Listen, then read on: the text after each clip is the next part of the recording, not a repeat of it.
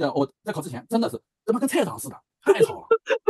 其实我还有个技巧，就是前面在做 I 和 I L 的呃 I S 的时候，就是说口语题的时候，大家同时都在做这个题，大家都啦啦啦都在叫，就让他走，让他们先考，考完之后他们考下一部分，他们闭嘴了，我再来做。我知道，知道，知道，我听过时间差，不想时间差，但是也不也不可能完也不可能完全打时间差，但是你后面比如说 I I S 可能就能打的时间长。就一个点，我家就在附近，就就一个点，我可以去无锡，可以去苏州，都可以，没关系，叫个车去。我觉得就在家门口，你没必要舍近求远，而且你你不知道他那边情况又什么样。而且这个考场首先你熟了，因为我进去之后，其实我们一组九个人，他不是随便可以挑一辈子的，他根据你柜子钥匙上面号一到九，我拿了个二号就排在第二个。你本来就说让我选角落，我还准备跟他谈角落的呢，不行。然后他后面那个他这个密封的空空空间，他装了个排风，开下来个声音呼啦呼啦大，像很大。然后我上来就提第一个条件，我说你麻烦你可把这个关掉，我说声音太大了。哎，人家挺配关了，那人还不错。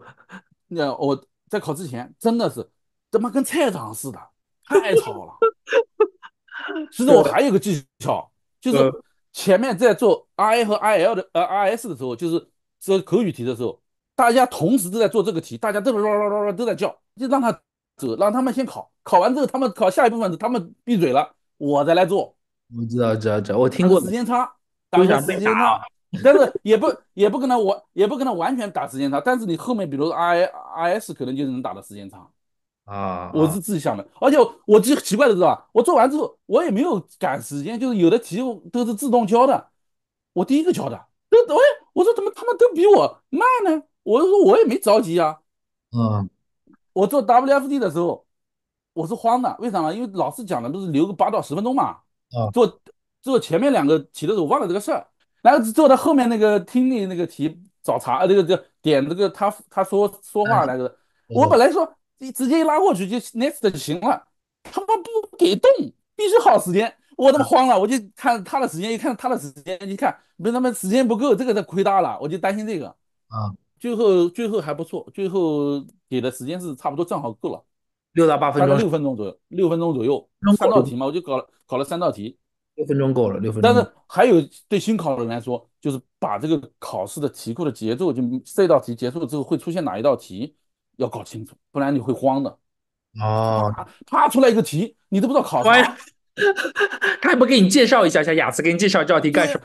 不是，像你们有基础的人，他是看得懂题目的，你懂吗？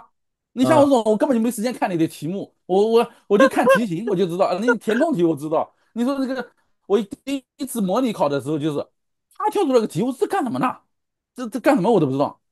你做次官方模考肯定有帮助，你做了吗？你做了还挺有帮助。做了拿了三十几分，然后我就还我还我还留了个心眼，我就录屏了。最后保存的时候说我是文件失败了，把我气死了。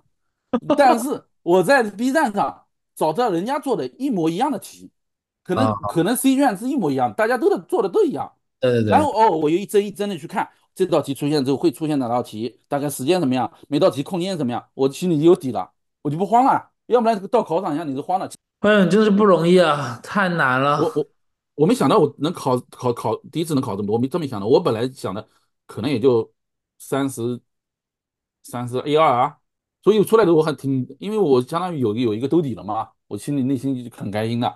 知道你知道你你知道你这个成绩雅思对应几分吗？五点五，来我看过了。对，啊不不。不到五点五，五分五分有的，就是四十二是五点五嘛，我四十一嘛。